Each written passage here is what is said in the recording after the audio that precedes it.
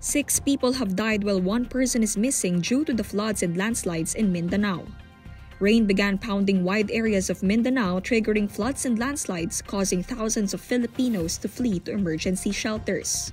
The hardest hit areas were in the mountainous municipalities of Davao de Oro, where 23 landslides were recorded since Sunday in Maragusan, while 10,000 people were evacuated from flooded homes in its adjacent town in New Bataan.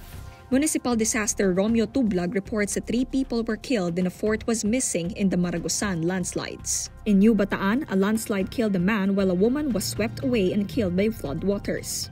Another man was electrocuted outside his flooded house.